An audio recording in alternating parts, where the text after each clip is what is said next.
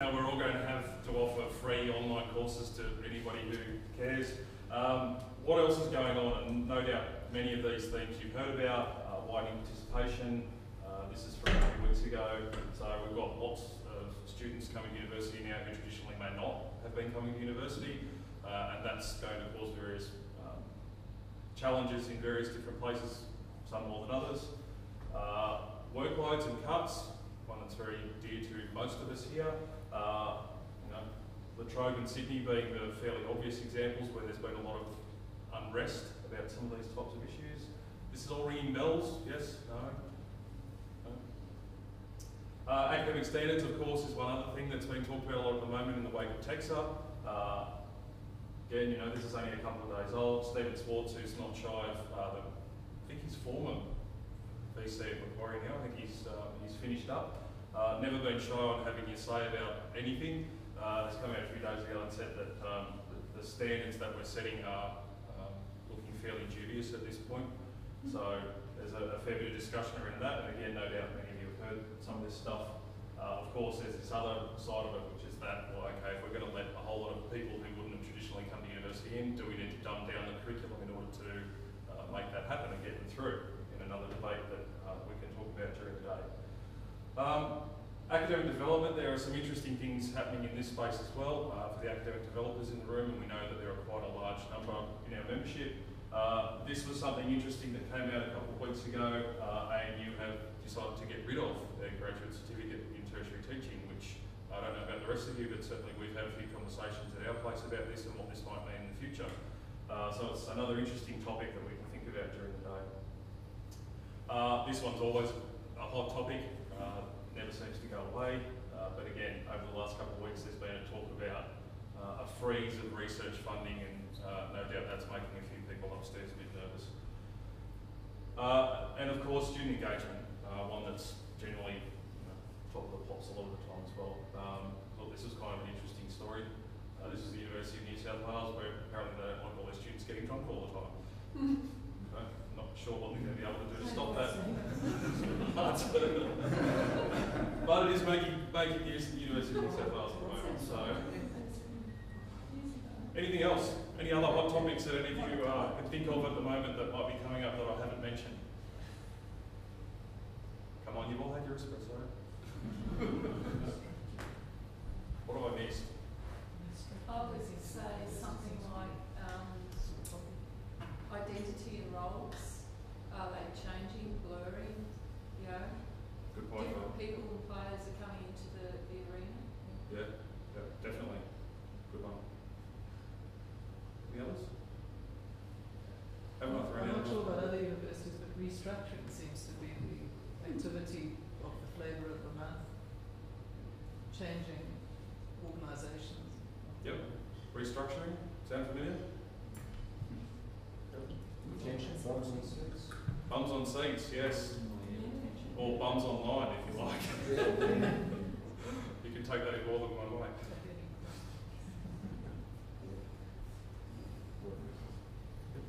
Um, it's inclusive of topics already, but academic workload, hmm. it's, it's huge. And we are, gonna, you know, particularly going online with things. Yeah, there's, it's kind of interesting, isn't it, that we always seem to get these these messages that say, oh yeah, you know, just put everything online, it'll be cheaper, it'll take less time, but I haven't seen any evidence that it's either cheaper or takes less time at this point. I don't know if anybody else has. Putting things online doesn't necessarily mean that you're going to automatically save money. That's a bit of a, a myth. quality of the student experience, Absolutely. Yep. It's an open market now, isn't it? So, absolutely. Yep. And all issues that we will come across during the day, no doubt. Chris, Um, you want to say something? Pr- profits over pedagogy Yes. seems to be a pretty common one. Yep. Good one. Good one. You're suggesting universities are businesses? Let's not start that. Let's We'll do that this afternoon when we've got a beer in our hand or something.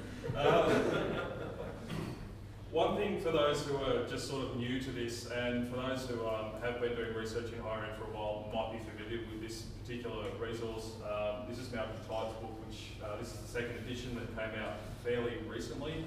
Um, I found, having come from a discipline myself, that this was really useful to get my head around how um, the research in higher ed works. But there was one interesting thing that I wanted to sort of take out of that that uh, is something that might help guide some of our thinking and talking during the day. Um, and that was, there was one particular bit where uh, he talked about what's actually being published in the higher ed journals over a, few, over a, a period of time. Now, he looked at a sample of uh, 567 articles, and these were in the top higher education journals, the ones that most of you are no doubt familiar with. Um, the breakdown I thought was really interesting. So there were quite a few articles on course design, uh, articles on the student experience, not surprising, articles on academic work, which is an issue that's already come up this morning, we talked about, uh, system policy, that's the stuff that you read if you want to fall asleep. Uh, and the stuff that's actually about teaching and or learning only made up a small proportion. Now I know that that doesn't add up to 567 before you um, say to me that I can't add up. I do realise that, I've left a few of them out. My point was that it was interesting that, you know, for a lot of us we think about this as being what our core business is, but yet out of 567 articles, there were really only a handful of them that actually talked about learning and teaching, which I thought to me was quite interesting. Um, take what you want out of that. Okay, what I'd like to do now, um, that we've sort of hopefully given you some ideas and some things that you might want to think about today, is I'd like to invite Glyn Thomas up. Glyn's going to talk a little bit about what's happening uh, for HERDSA at a national level. Glyn's on the executive, so we've just asked him to give us some sort of flavour about what's happening nationally. So, Glyn. Uh, I won't be as topical as uh, Jason's been, but to just it really just sort of an, an update on the sort of things that have been going on. Uh, uh, at the 2012 conference in Hobart, three new guides were released. You'd be aware that, God, that HERDSA publishes a, range of guides, and the titles of those guides were Effective Feedback for Student Learning by Iris Vardi, Using Stories in Teaching by one of the TATAL groups. TATAL stands for Teaching and Talking About Learning, so that's been a theme um, within the HERDSA for quite some time, and they've published a guide.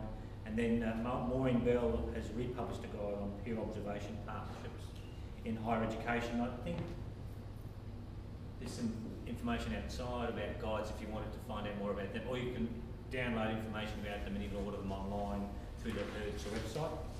Um, the fellowship scheme, which is part of the HERDSA Association, is currently under review, and you might have seen an email recently for your opinions on that.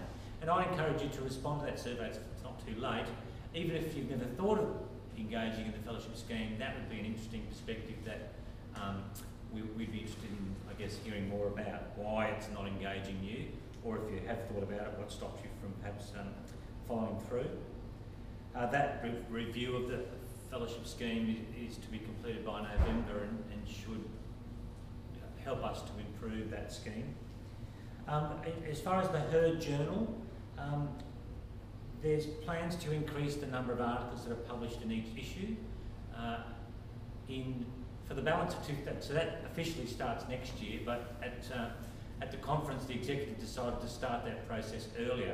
And it's interesting, just to include six more articles, which is two more in each of the issues that are still to be published in 2012, cost an extra $4,400 just to add those papers in. And you might think, well, what's the point? Well, at the moment there's about a two-year backlog between your paper being accepted and being published in HERD, which is I think for most authors there's a bit of a disincentive to publish to HERD. There's a rejection rate of about 45%, and um, we quite proudly talk about rejection rates. I, I, think that's an interesting way of being proud about something, but um, I think it would be better probably to talk about quality. But um, anyway, there is plans to try to shorten the Q&E, some of that backlog. Some of those problems to do with backlogs in the journal stem from having lots and lots of special issues, which put the regular submissions sort of back in the, in the chain a bit. So there's a plan to move to just one special issue a year to try to prevent that from happening. But the good news is that the HERDSA Journal is now available in now 9,000 libraries around the world through the Taylor and Francis um, online availability system. And the review process has been streamlined from um, three reviewers down to two to try to make that uh, less onerous process, both for HERD and I guess also for authors. Uh, submissions are still very good for the journal. There was 168 new submissions in the first six months of this year. Um, a couple of other bits and pieces. The profit from the Tassie conference was quite small, only about $2,000, which was drastically uh, lower than the Queensland conference, and that's probably as much to do with geography as anything else, I suspect. Be careful about back, uh, rewarding our Griffith colleagues for the great job they did with uh, the 2011 conference. Um, interesting thing, if you're ever thinking of organising a conference, the credit card fee bill was about $8,000 just from people using their credit cards to pay for the conference. So it's become, interestingly, one of the things that you have to factor into budgeting for something like, like a conference is what the credit card companies take for people paying by the credit card, which now happens more than it's probably ever done before. Just a little tidbit there. Um, Auckland is the is the venue for the Hertz conference in 2013. Um, the, the early bird rate they managed to keep under nine thousand under thousand dollars, so it's nine hundred and ninety dollars. Um, Hong Kong is the venue for 2014, so you can plan your shopping sprees. You can hold off till then. And there's currently calls out for the 2015, 2016, 2016 conferences. And uh, at the moment, trying to, uh, UQ, in, in conjunction with some of our other partner universities here in, in Brisbane, are trying to organise maybe having an ISSOTL conference around the same time as the HERDSA conference in 2015. And just waiting to hear back from ISSOTL as to whether that's possible, because normally their conferences are held in October, November. So that's about it for me. I can answer any questions, but um, and I'm around for most of the day. My question, since you brought it up, credit card charge, I was wondering if those is going to bring in uh, repay. Um, that's a good question. Yeah, I don't know. Uh, it's something I can certainly raise with Jennifer.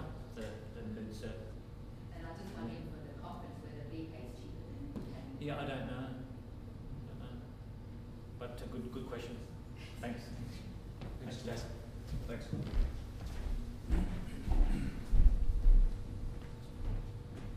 Okay. Um, between now and morning tea, what we wanted to do is to give you a chance to do the one thing that um, more people said was essential uh, than any other. So what I'm going to ask you to do, um, and it's kind of like having a chat, but it's a structured chat, so that there is some sort of outcome hopefully at the end of it. Um, if you are sitting at a table with a whole bunch of people that you already know, then you might want to think about moving tables.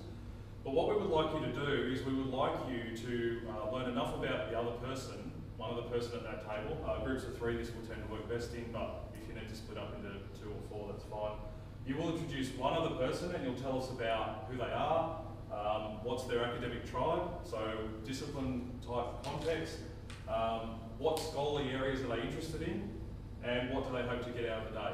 Now, I know this might sound like a fairly low level uh, ice breaking exercise, but we're hoping that this will be the start of uh, some networking that will hopefully lead to some collaborations by the end of the day. So, if you could uh, kick off on that now, and what we'll do is I'll give you a little while to get to know the other person that you're going to be introducing, and then we'll bring everybody back together and you will introduce uh, that person to the rest of the group at the end of it.